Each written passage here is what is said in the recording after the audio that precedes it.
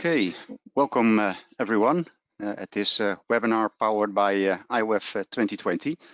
Uh, uh, my name is Gerben Splinter of Wageningen Economic Research, and I will be your moderator for today.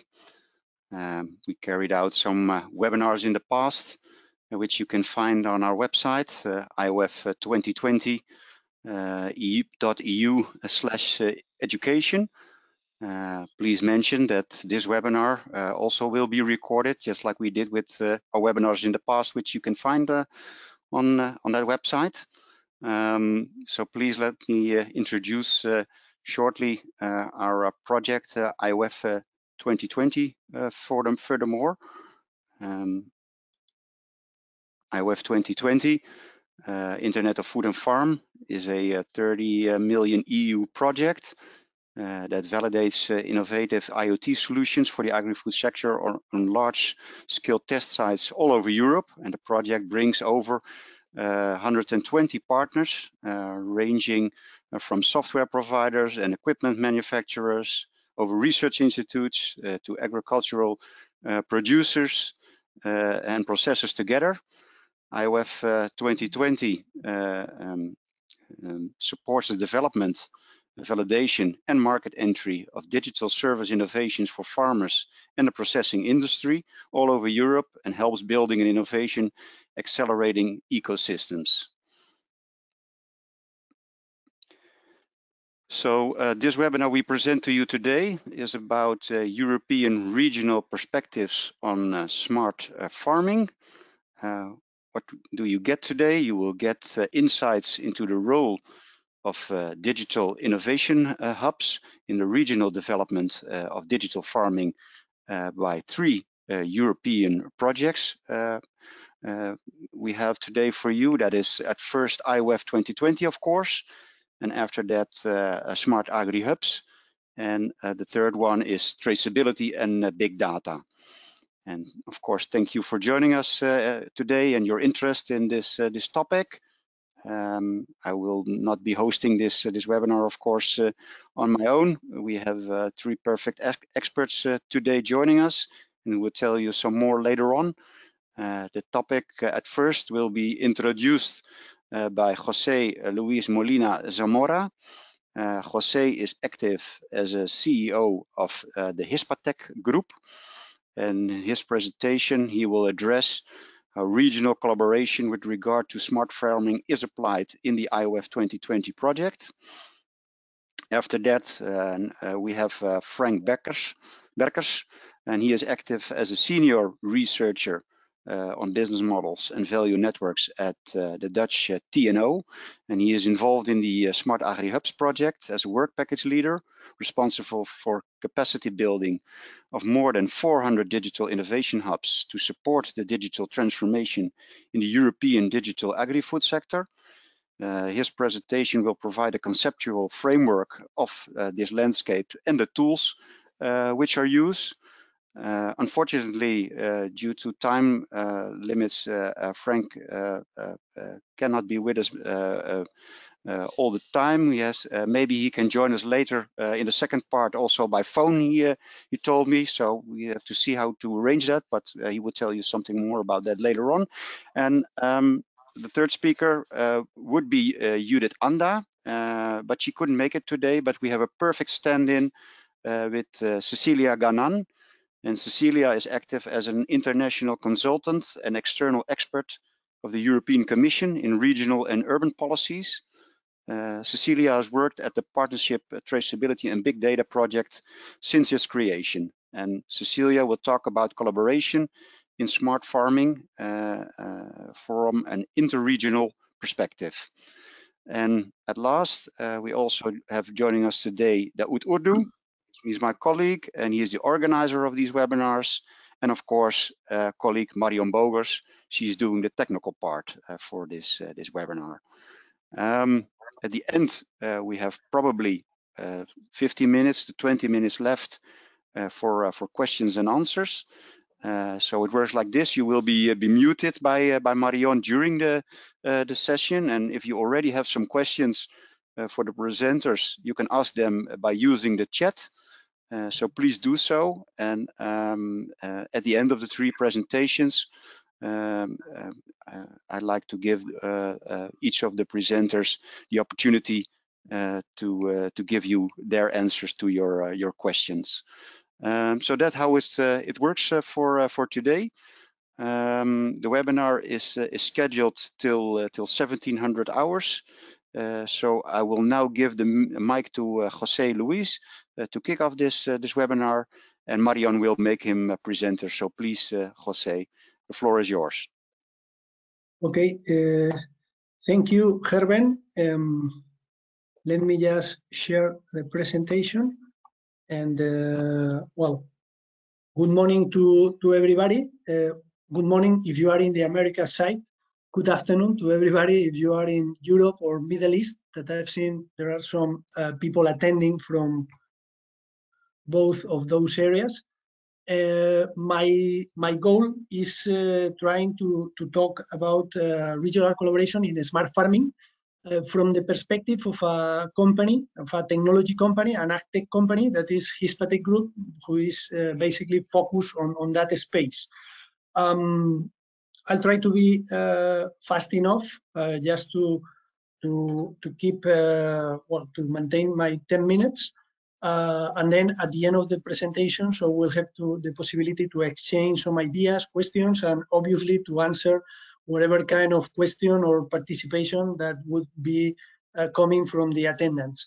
Um, first of all, and uh, just as a presentation on who we are in Hispatec Group, our mission is creating and supplying best digital solutions uh, from uh, the field, from the farm, and up to the market.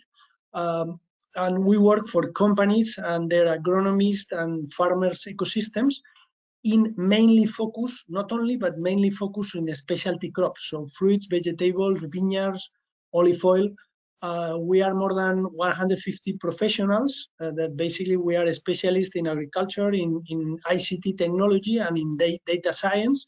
We've been for more than 30 years in the, in the market and basically we work uh, mainly, well, or I would say almost exclusively for privately owned companies, farmers uh, and agronomists that are distributed in mainly in Iberia and uh, some countries in Latin America. what we do in terms of uh, in terms of uh, digital technology um, basically is uh, implementing, developing, and implementing solutions in the production side, in the field production side, then in the transformation arena or in the aggregation and transformation arena, and then in the logistics and commercialization area as I was mentioning, mainly focus on the perishable side, on the fresh fruits and vegetables, and even uh, wine or olive oil. So high added value products in the in the agricultural space. That is basically in the uh, as a as a percentage of global um, production. We are talking about something like 12% of total uh, food production in the world. Uh, we participate as well in R&D uh, and innovation projects on an international scale. And basically, we are participating in IOF 2020 project. That is the, the one that is hosting this, this event, this webinar, where we are focused in the fruit trial, uh, working with olive oil production. Uh, we are working as well in the Smart Agri Hubs uh, European project, in, in, in focused on regional digital innovation hubs. And we've been working as well, but that's a, another past project, European project, in the WEAM4i project, that is Water and Energy Advanced Management for Irrigation, uh, basically linking intelligent water and energy management network and with a cloud-based service-oriented platform for irrigation decision making. Um, basically, from the point of view of societal challenges and, in, and digitalization. So we are now in a very interesting moment, I would say, where uh, we are uh, defining the next generation European Union. So probably this pandemic with uh, COVID uh, is, a, is bad news in general, but probably it's pretty good news in, in terms of redefining our economy, our system, our society in many aspects. So we need to rebuild many things. So probably it's the right time to rebuild them in a different way, in a better way. Let's let, let's let's work for it. Uh, we have on top of the table the farm to fork strategy coming from the European Union, where we are uh, targeting sustainable food production, reducing uh, food loss and waste. Uh, we are uh, targeting sustainable food processing and distribution, so being more effective in terms of logistics and in terms of footprints and so on. And we are talking about sustainable food consumption. We have as well the European Union biodiversity uh, strategy, that is one of the important parts of the agri-food system. And in parallel to all of that, we have the Sustainable Development Goals uh, that were uh, defined by the year 2015. And right now, I think we are in, in a process where in the next decade, we should be rolling out those 17 Sustainable Development Goals in a massive way, especially in the European space where we are particularly linked to them. Um, we have uh, agri-food chains or networks, I would say, where we have multiple involved actors, um, where collaboration is a must if we want to achieve impact. And basically, I'm putting here in the center of the whole uh, challenge the agri-food sector. So we have to, we need to help uh, the agri-food companies, the cooperatives, the farmers, the agronomists to do a better job on whatever they do uh, in food production, in uh, environment uh, sustainability, in uh, reaching the goals that consumers are demanding from agri-food sector and surrounding the agri-food sector we are uh, public administrations in this specific case and where we are talking about IOF 2020 olive oil uh, use case um, we are talking about uh, Junta de Andalucía, what is the regional government. We're talking uh, about as well research at universities that are surrounding this agri-food ecosystem consumers that at the end of the day are the, the final, the, the ones that pay all of this and the ones that are requiring more sustainability and more social commitment of the agri-food sector. And we have agtech companies where in this specific case, in Hispatec, we are one of those agtech companies that are focused on providing technology to help uh, the agri-food sector to be better. Um, we identify some areas as uh, among some others to collaborate uh, among public and private sectors. One of them where we are at some point uh, where we are uh, at, at, to some level collaborating today, we are working in open data policy with high maturity level. So I, I mean that uh, we need the public administration um, releasing uh, big flows of data uh, in an industrial way where we can access to those data through APIs and things similar to that, not uh, through webs that uh, probably that was uh, good enough 10 years ago is, never more that time. Uh, we need or we think it can be provided high value in competitive market intelligence from the regional perspective, country perspective, or the European perspective. Um, we need data hubs for bench learning, benchmarking and bench learning among different agri-food uh, players. Uh, we need incentives to uh, speed up digitalization investments. So digitalization investments are going to happen anyway in the agri-food sector in the next years. What we want to be is the first ones digitalizing the full uh, agri-food network. We need innovative digital solutions uh, public purchasing. So public administration is a big purchaser of solutions. So we ask them to do innovative purchasing processes. Uh, there are some areas of strategic R&D and I where collaboration public and private would be highly welcome. And in some areas, this is happening. And at the end of the day, uh, we are, and right now, we are in the middle of that process of, of proposing uh, big traction programs of agri-food digitalization with impact goals. So whatever that we um, uh, that we do with digitalization should generate impacts, uh, tangible impacts uh, in the agri-food sector, in the society, in the environment. Which is our vision. Uh, our vision is that we are right now in a in the in the perfect moment to uh, fix the vision for the year 20 and 25, uh, making the European Union a smart agro continent with resilient and essential food production and distribution, with a safe agri-food sector, sustainable, efficient, market-oriented, being global, uh, producing customized and healthy food, and with a very strong agtech ecosystem that is highly competitive in the international scale.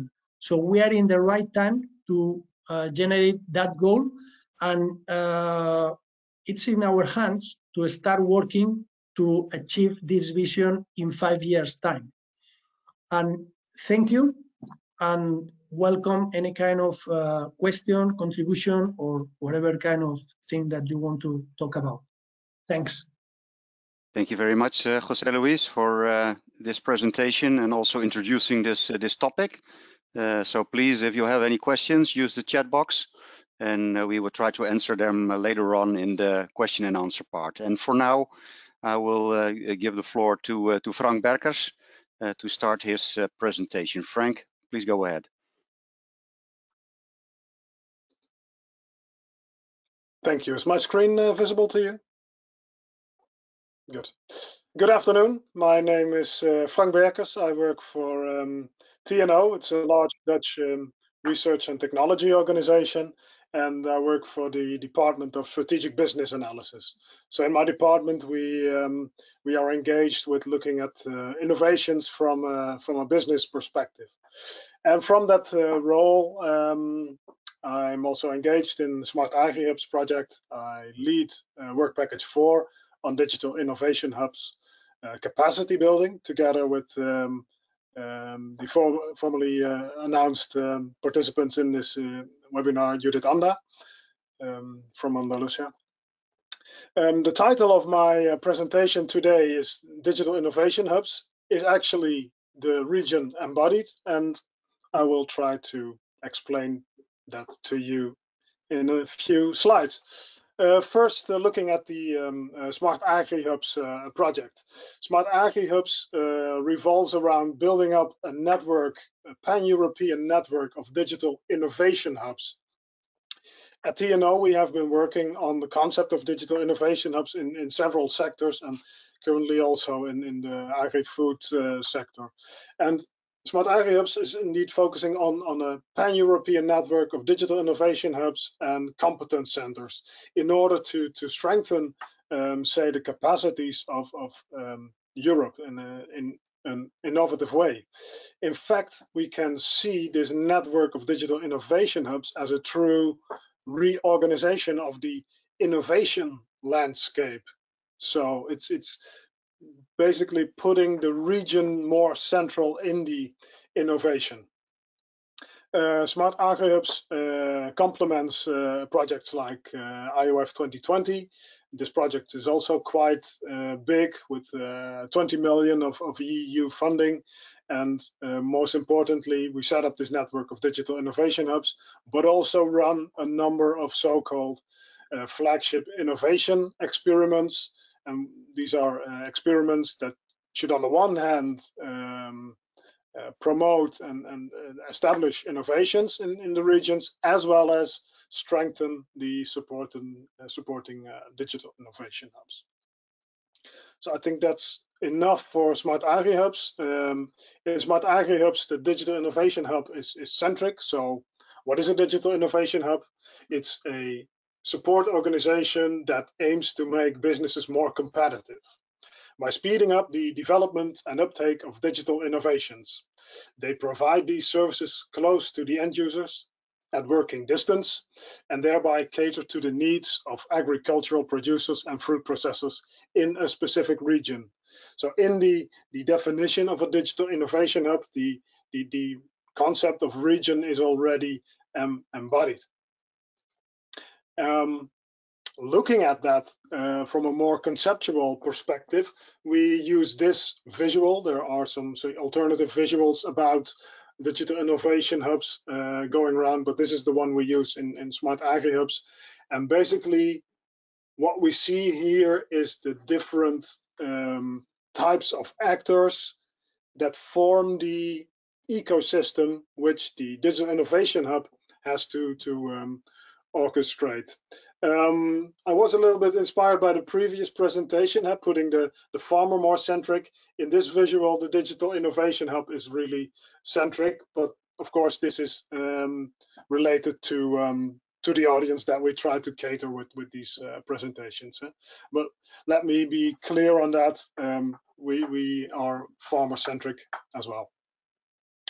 Um, okay, so in this ecosystem, we have incubators, we have governments, we have cooperatives, we have farmer communities, investors, industry associations, education institutes, startups, research organizations, advisories, also other competence centers, uh, fueling the, um, the innovative uh, capacity in a certain region. So, and the job of the Digital Innovation Hub is really to, to network all of these actors. This is a, a mapping uh, created by uh, Mara Wintges of the Greenport Horti campus. And she really made an effort to map and identify all the different actors of those types in her specific digital innovation hub ecosystem. So this is the, the list, the number of actors you are dealing with as a digital innovation hub. And most of them have regional um, presence.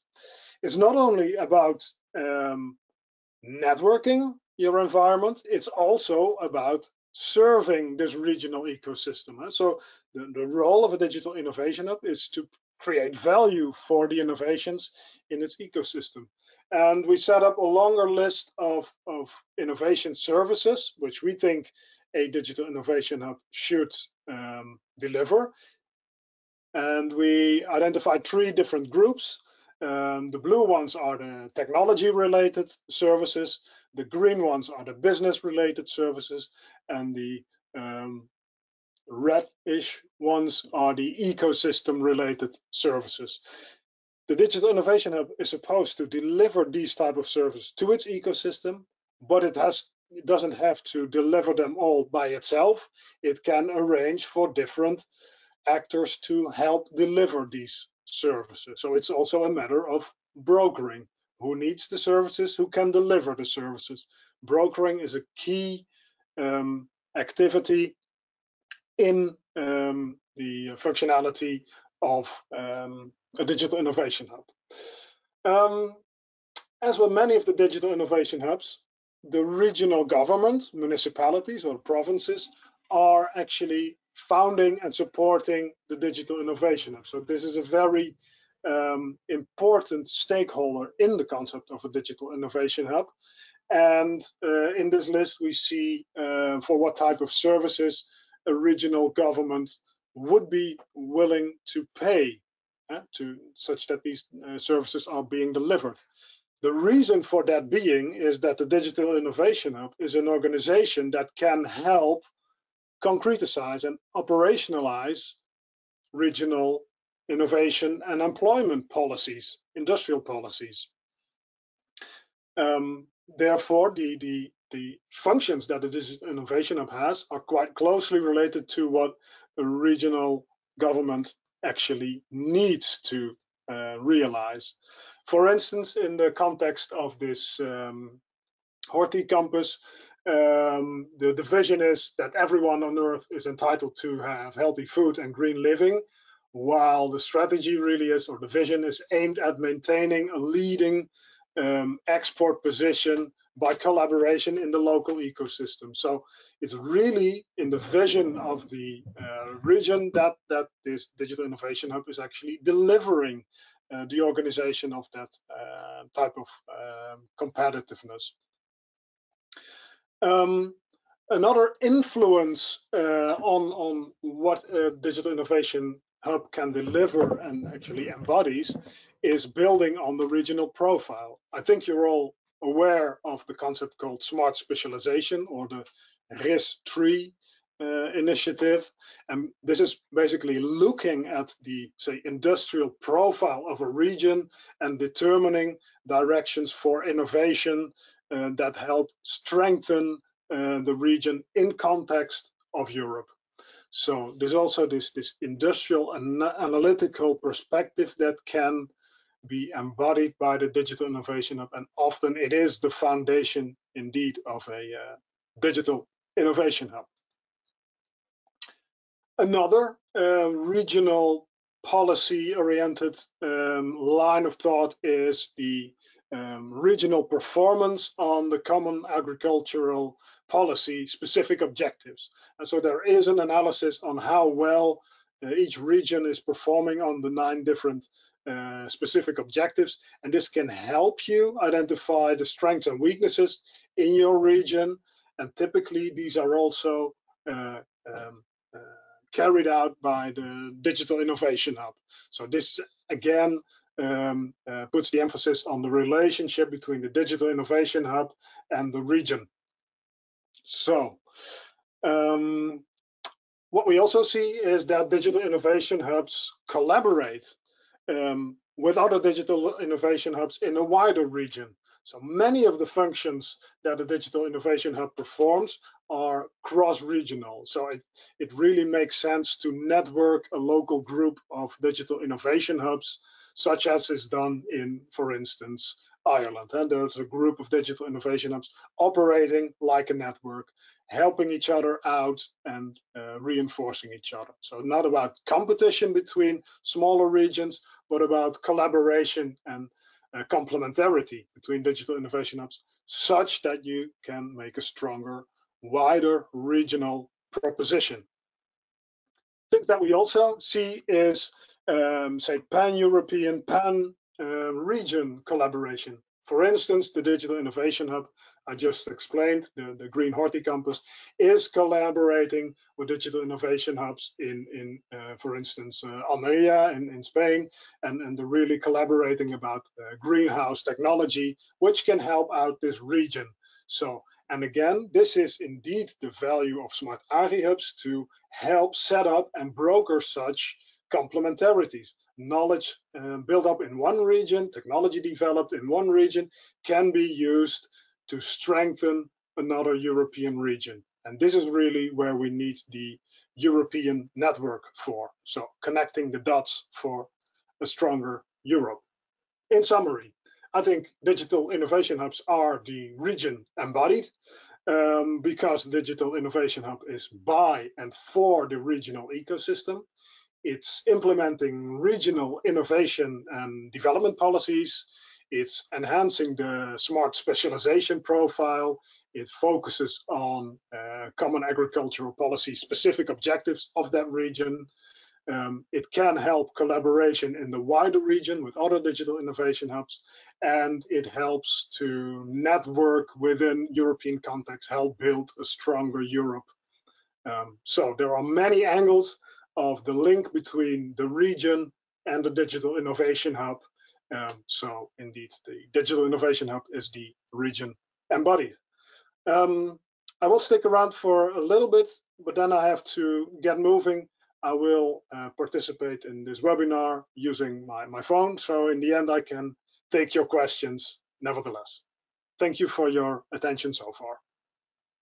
Super, Frank. Uh, thank you very much for your presentation and uh, also uh, very kind of you to join us uh, uh, later on uh, in the question and answer part. Uh, for now, I'd like to to go to to our last speaker, Cecilia, and a very special thanks to Cecilia to join us in this last moment, replacing Judith Anda. Um, so, so Cecilia, please uh, go ahead and uh, start your presentation. Marion will make you a presenter. Go ahead. Okay. Thank you very much. Good afternoon, everybody, and thank you for the opportunity of being with you here today. I'm very glad to, to replace uh, Judith and to share with you some ideas about the, the work that uh, the thematic inter interregional partnership on traceability and big data in the agri-food value chain has been making in the last years. I have had the opportunity of collaborating with this network since its beginning, and um, I must say I have seen an enormous evolution and an enormous amount of creativity and proactiveness of this uh, partnership. And in fact, they have achieved um, many, many things. Uh, I will try to summarize them. But first of all, I would like to put uh, some context in the initiative. As you know, this partnership is anchored in the smart specialization approach of uh, the General Director for, uh, for, Regional Policies of the European Commission, Frank very briefly introduced to, to this approach. Uh, and as he said, this is an approach uh, aiming at the identification in a participatory way of the strengths of each region in order to focus all the efforts in terms of innovation and in terms of investments in those areas of specialization.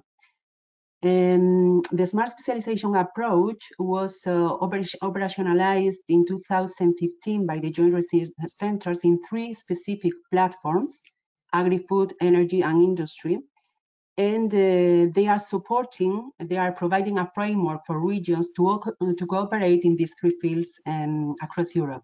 So the Traceability and Big Data Partnership uh, is part since the beginning uh, of the agri-food platform, but today it has also a double affiliation and it is also a member of the Industrial Modernization platform.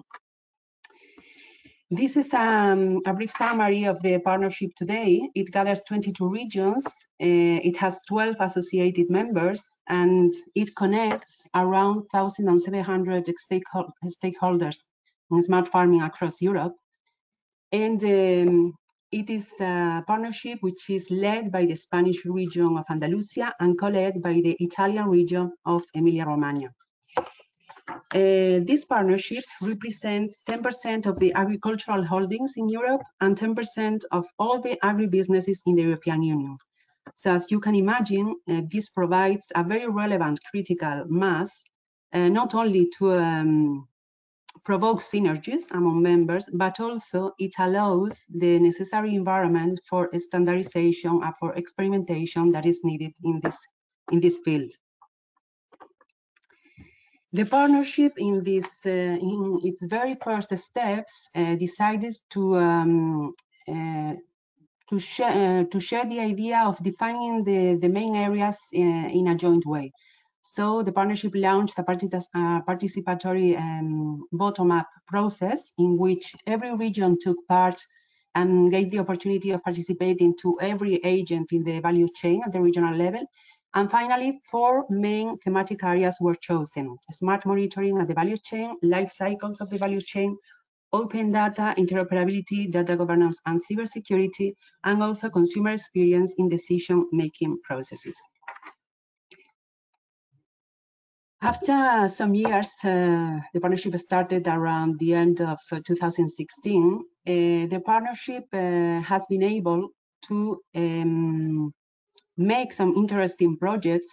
Uh, for example, it had the opportunity of participating in a pilot action for interregional innovation investments launched by DG Regio a couple of years ago. Uh, it is it has been awarded by um, Interreg Europe project currently in place. And uh, it is also member, many of the regions are also member of the huge H2020 Smart Agri Hub project.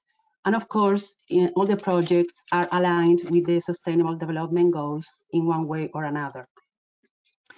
Beyond this uh, work done in the working groups, uh, I would say this is a very dynamic interregional network as it is shown by the variety of initiatives uh, that uh, has been launched. For example, they have a surveillance unit looking for possible uh, areas of financing. They have a new website just launched. I invite you to visit it. They organize a monthly webinar on many topics related to the digitalization of the agri-food value chain. They produce a monthly newsletter and they are present and very active in social media. They have a Twitter account, they, they have a YouTube channel, and um, they are continuously um, imagining new and creative ways to give the partner regions the possibility for visibility, for connections, for synergies. But uh, if I would have to choose one area where uh, I think uh, the partnership has been more useful in the last months is in its support to the digital conversion of every regional ecosystem. Because as very well uh, Frank already explained, they are just making um, the accompaniment uh, to all the regional nodes to evolve towards digital innovation hubs. So we are uh, seeing the shifting perspective from a circular uh, approach to a one-stop shop approach. Future steps in the partnerships roadmap.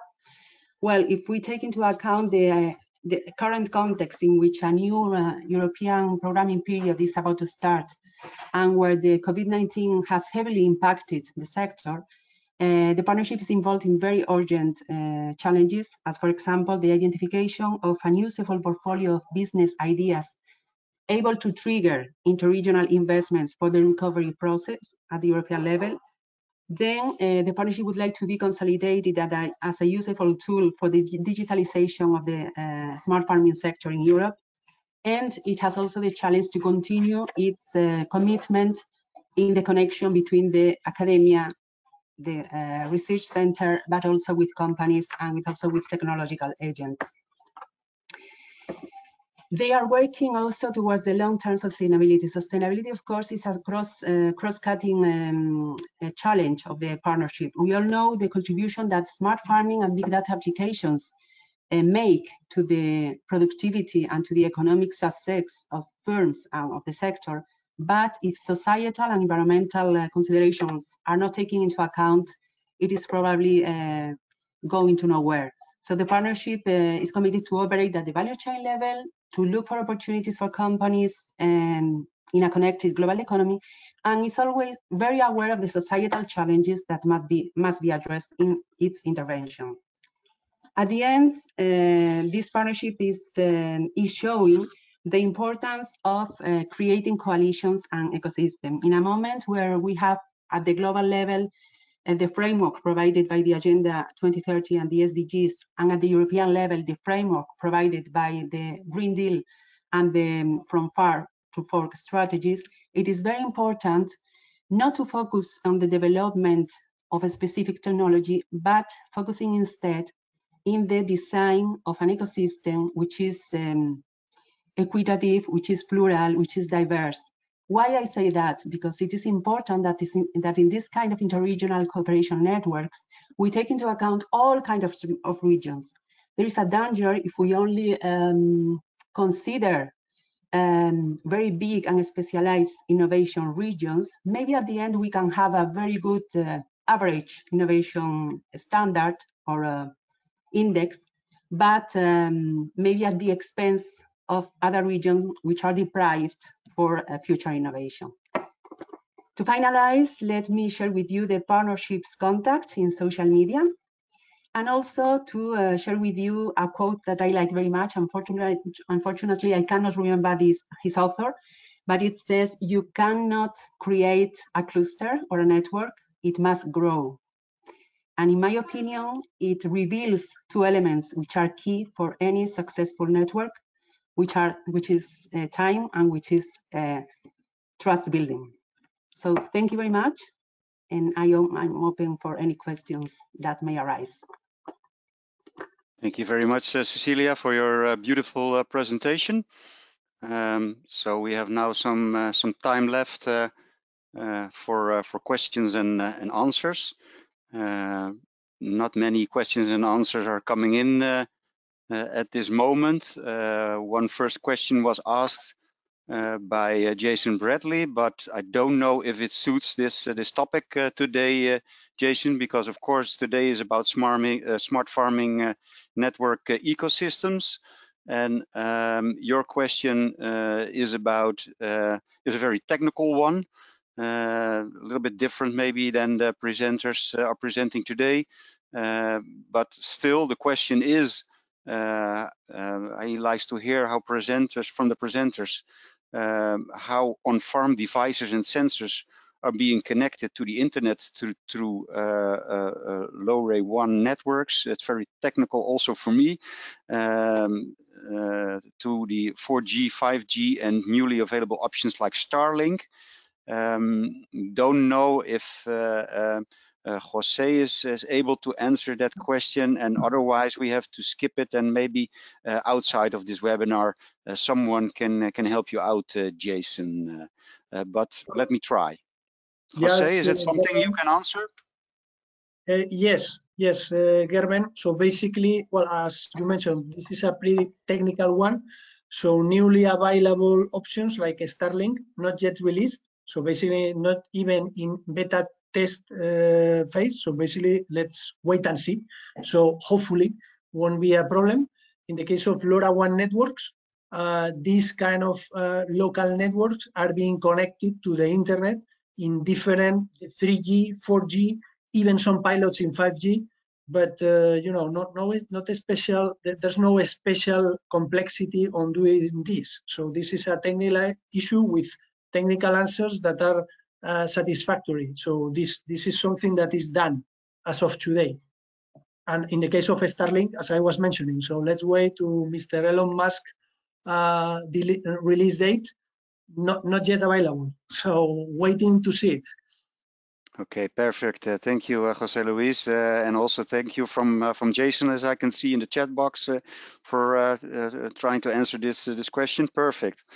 so I have a second question coming in. And that question is, uh, is asked by, uh, by Paul Malone. his question is, I would like to hear the presenter's view on the importance of data sharing throughout the ecosystem to enable future innovation and collaboration. And in particular, what are the main barriers uh, to achieving these goals? Uh, could that be a question, Cecilia, who could be answered by you? Or maybe Frank is already joining us also and can answer that. But Cecilia, yes. first, uh, like okay, I can, I can start and probably, yeah, I can start and probably Jason or Jose Luis can continue. Mm -hmm. um, I think for sure uh, sharing data is one challenge that we have um, as Europeans in every sector. In, in, in agri-food is especially complex because of the variety of data and because of the uh, different sources of data. Uh, so this challenge is even more urgent um, Europe, the European Commission is very uh, involved in issues like um, establishing the right rules for allowing a correct and ethical use of data and also is involved in a public consultation with stakeholders to promote interoperability. But for sure, if this uh, context is not, is not clear and is not pushed by the, um, by the regulators, it will be difficult uh, because sometimes sharing data needs um, a real push at the beginning and a real uh, objective and a real justification uh, because uh, uh, sometimes it's, it's, not easy, no, from an ancient uh, culture of owning data. And we are living a, a, a, complete different paradigm in terms of data that needs to be clear, that needs to be clarified, that needs to be supported and that needs to um, have some rules and some uh, limits. Okay, thank you very much, Cecilia. Is there something you like to add on that, uh, Jose Luis, or? Well, yeah, just highlighting the high importance of data sharing and probably the first uh, organizations that have to be sharing data have to be public administrations. They are owners of big amounts of data and uh, always taking care of uh, avoiding any kind of confidentiality issues. But from the statistical point of view, that's something that can be done immediately and there's plenty of room for improvement in that area taking into account that the fuel for artificial intelligence and advanced analytics is data so just releasing data, the available data. I'm not talking about creating new data or sharing new data, just releasing the existing ones. We can fuel and speed up uh, uh, growth pretty quickly. And if, as a consequence of that example, we uh, reinforce the data sharing value among different players, I'm sure we'll speed up even faster. Okay, Thank you very much for answering that also, uh, Jose Luis. Then we have a new question coming in. Um, yes, Can you hear me? I, Okay, I can um, hear Frank Berkers is, is coming in. Yes. Um, so uh, perfect, uh, Frank, for joining us uh, again. Um, I will be going to the next question. So maybe Ah, I can, uh, can can give uh, Frank uh, also the opportunity to answer some questions, of course. Um, the uh, the next question is asked by Peter Paré, and he is asking: horticulture is a spe- specific ecosystem. Andalusia in the Dutch uh, uh, country we have called the region called Westland, and a few other regions uh, are in that subject. Uh, regions play a big role uh, in such specialist sector. Do you see the same role in big sectors like wine or dairy? Dairy, yeah, dairy, dairy, I have to say. um, maybe Frank, uh, would you like Um, to yes, pick I up did. this question? Yes, but I'm not sure I can fully uh, answer it to to Peter's uh, needs. But uh, I think every sector has its own uh, specific uh, um, profile. So indeed, the, the the greenhousing sector has, has a unique profile, but also the dairy farming, as it is done in Netherlands or in Ireland, uh, differs quite a lot. But it also has a huge um, export potential, not only in, in, in knowledge but also in in the uh, goods themselves. Huh? So. Um, so I think uh, looking at, at what is in common in Europe and, and linking this between the regions uh, can help us uh, strengthen that uh, that export profile.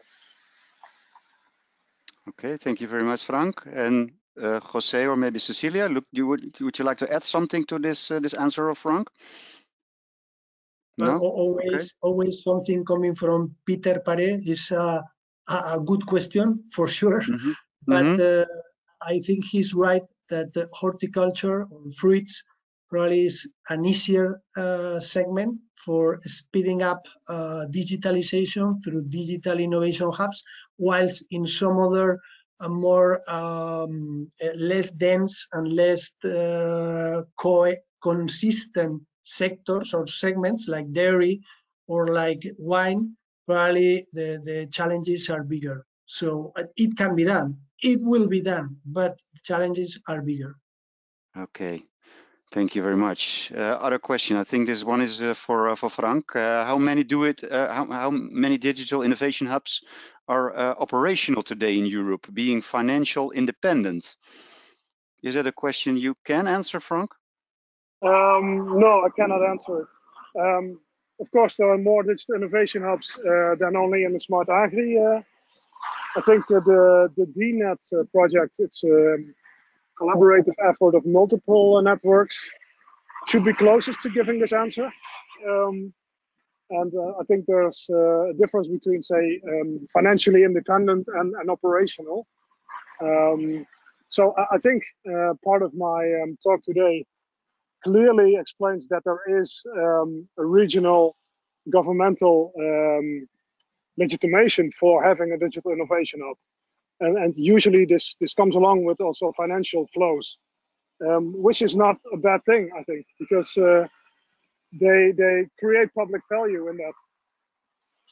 So the operational and financial independency um, are um, two different uh, aspects, I would say. Okay, thank you very much for answering. Uh, then a new question is, how can we bring all these ideas to the farmers? Where could we find defined and proposed mechanisms to demonstrate the value and the profitability of these approaches? Do you have some regional examples? Cecilia, could you answer this question maybe? Yes, um, I think uh, because uh, I'm, I'm speaking both from the side of the regional uh, partnership um, and also from the digital innovation hubs probably, at least in the interregional partnerships uh, like the one I explained, um, they are based not in the participation of uh, regional administration, but on, um, on the participation of what is called in the European language the quadruple helix uh, um, uh, rep- uh, representatives. So uh, we have regions, regional administration, we have the uh, participation in, the, in these networks of companies, both agri-food companies and technological companies, we have technological centers, we have academia, and we have even civil society, mainly in the case of the Traceability and Big Data Partnership um, Consumers Associations. So if the partnership is alive, if the partnership is working, they uh, tend to have um, meeting points, physical or virtual, or uh, a kind of um, dynamic presence where all the actors have the opportunities to uh, connect and, uh, and to exchange views. In my opinion, if the regional administration leading this regional ecosystem is um, dynamic enough, it should have the ability to facilitate the exchange of ideas and the um, delivery of information to the farmer, to the ultimate user. So uh, I believe it connects with the new role that uh, we are uh, seeing today in the public uh, sector, which is not anymore to be the one who is just uh, establishing the rules, but who is uh, an actor who is mainly facilitating processes of communication and of connection. So in my opinion, if the partnership and understood as a regional ecosystem is working correctly, it should have, it should find the mechanisms to deliver useful messages to, to the final user. In my experience, uh, the leading processes are uh, on the side of the regional administration in most cases, but it depends because there are some regional ecosystems which are led by technological centers or even by universities in some cases. And uh, but at the end, uh, it is a responsibility of the leading actor to assure um, this delivery uh, of um, knowledge, of expertise, and uh, to really make the agri-food representatives, the agri-food um, sector, uh, the farmers' um, voice connected to the rest of the actors in the ecosystem. So it depends, in, in my opinion, in, in every in every case of uh, how the the network is is functioning if the farmers are well associated, are well represented, if they have mm -hmm. um, a voice which is articulated, which has some level of institutionalization, it would probably be easier to get connected to the network. Mm -hmm. If we find cases where the farmers um, have a low level of association and of representation, this level of connection uh, decreases. Okay, thank you. Thank you very much, Cecilia, for answering that question. We had another question uh, coming in by uh, Ahmed Warani. Um, uh, Ahmed, I don't really understand your question, but maybe our presenters do. You say IoT, uh, to which extent or in which fields do you feel that technology can be an extra burden in production? Uh, is there someone, Jose, Cecilia, or Frank, uh, who understands well, this question, but Ahmed, and otherwise we have to ask him again to define his question uh, again. But Jose, you like to try? Yeah, so, uh, yeah I would say uh, technology, if the goal is technology by itself, is always an extra burden. So we need to look for specific advantages after implementing technology. So technology cannot be by itself the, the, the goal when we see projects that uh, the name is the blockchain project, we are wrong, fully wrong, because that's never a goal.